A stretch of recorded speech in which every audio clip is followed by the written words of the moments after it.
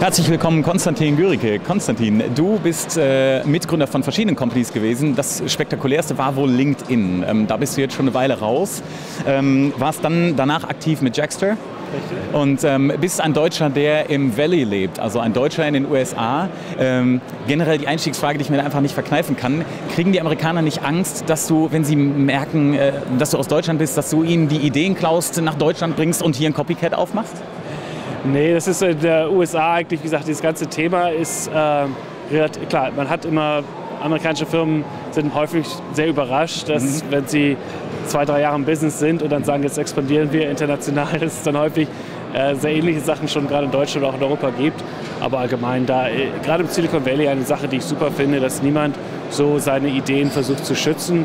Und ich mhm. denke, alles ist irgendwie kopiert. Äh, mhm. Äh, man, man, man, lässt sich immer inspirieren. Selbst im Valley dann, ja? Selbst im Valley, ja. Man lässt sich ineinander inspirieren. Ich glaube, es ist einer der Erfolg vom Valley, dass viele Mitarbeiter wechseln ja von einem Unternehmen ins andere. Mhm. Die Ideen fließen halt schnell hin und her.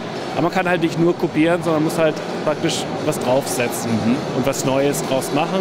Und so, so verbessern sich die Dienste und so verbessert sich das Web und Mobile und so. Generell ähm, diese Argumentation, ich gründe was, was in Amerika schon erfolgreich ist und dann kauft es mir garantiert jemand aus Amerika ab. Ähm, würdest du sagen, macht diese Argumentation Sinn oder sollte das keine Motivation sein, irgendwas zu starten? Man kann es jedem das Seine. Es kommt darauf an, was man, was man erreichen will. Ja, ich meine, ich, ich bekomme natürlich in Deutschland die Diskussion viel mit. Äh, warum haben wir kein Skype oder ein größeres ja. Internetunternehmen, was auch international erfolgreich ist? Und mein Vorschlag ist halt so, ich finde, dass die Israelis das ganz gut machen. Mhm. Die halt so von, die haben halt den Vorteil, dass Israel ist so klein, die haben nicht irgendwie das ist nie realistisch oder nie interessant zu sagen, wir machen jetzt den israelischen Markt und dann expandieren wir ihn nach äh, Libanon und Italien. Ähm, die sagen halt von vornherein, wir gehen gleich in die USA, bekommen dann häufig auch die Finanzierung in den USA. Ich habe gehört, dass die israelischen Startups mehr Finanzierung bekommen als alle deutschen und französischen zusammen, obwohl es natürlich okay. ein wesentlich kleineres Volk ist. Insofern ich denke, die Variante wird in Deutschland noch nicht häufig genug genutzt, dass man praktisch gleich zumindest ein Teil des Gründungsteams und vor allem der Geschäftsführer direkt in die USA geht. Entwicklung kann ja in, in Deutschland bleiben. Das ist eine Variante, die, glaube ich, häufiger genutzt werden sollte, wenn man wirklich versucht, irgendwie was Großes aufzustellen, hat man, also glaube ich, größere Erfolgschancen. Dinge gleich, gleich in die USA rübertragen. Ja. Genau. Und man hat ja, wie gesagt, man kann es ja ausnutzen in sehr schwierig ist im Valley halt gute technische Teams zu finden. Das ist wirklich Mangelware, mhm. weil die werden von, von Facebook, von Google, von LinkedIn, von eBay, von Yahoo, von allen, Yelp ja. äh, immer rekrutiert. Ist halt relativ schwierig. In Deutschland hat man eventuell einen Vorteil, wirklich gute Techniker auch zu haben. Mhm.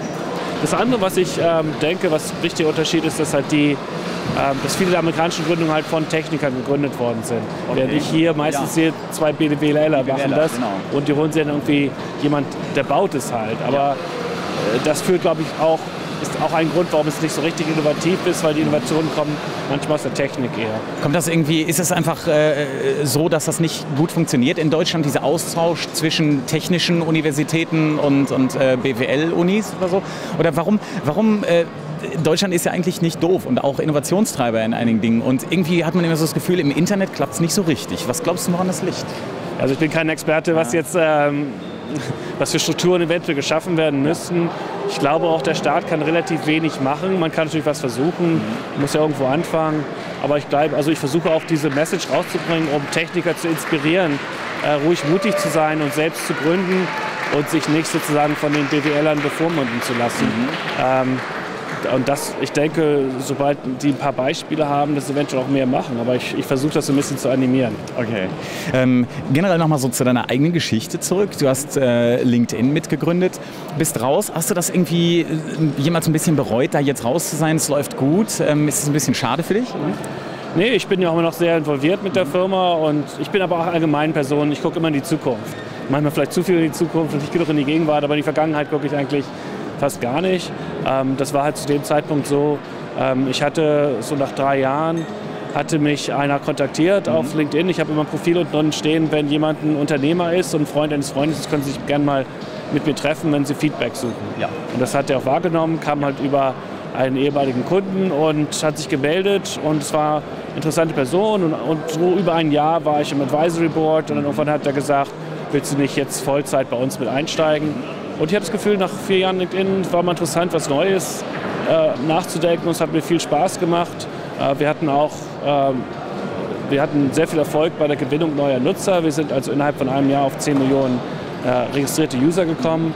Äh, bei der Monetisierung hat es halt nicht so gut geklappt. Wir haben festgestellt, dass mehr so B2B2C. Äh, dann haben wir es halt verkauft. Also der zweite Teil war nicht so erfolgreich aber man lernt immer was dazu. Ja, ganz genau. Ähm, du hast selber gesagt, du guckst eher in die Zukunft und nicht in die Vergangenheit. Ähm, was steht denn an in der Zukunft bei dir? Wie geht's weiter?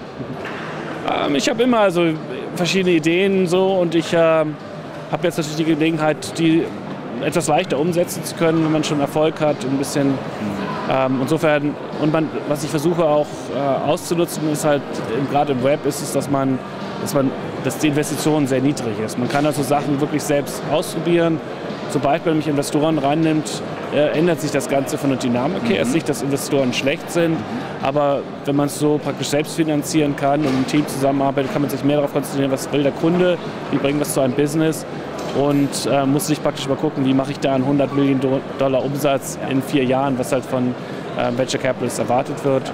Und so kann man halt ein bisschen mehr rumexperimentieren, das ist mehr so bottom-up. Und äh, ich denke, das ist so, ähm, wie gesagt, Jackstone LinkedIn war halt umgekehrt, war halt mehr, wir haben ganz klar gesagt, das wird ein riesengroßer Markt, mhm. eine Menge Geld für hohe Valuierung aufgenommen. Okay. Jetzt mache ich mal so ein bisschen mehr bottom-up als ja. top-down. Ja. Alles klar, ja, ich wünsche dir dabei und bei allen anderen Dingen viel Erfolg und danke dir ganz herzlich fürs Interview. Ja, Dankeschön. Ciao.